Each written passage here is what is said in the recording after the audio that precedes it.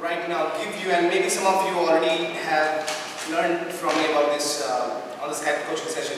I want to right now give you something which is going to help you connect with the audience more in a deeper way.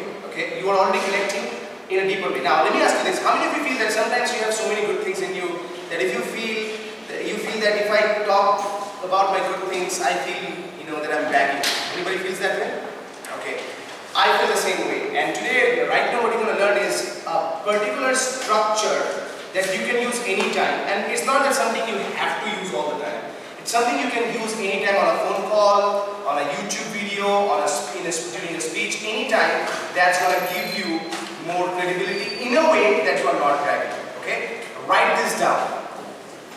It's a small little framework. It's like a template. It's one two-line sentence, two-sentence phrase that you can use anytime in order to improve the credibility. The first one next.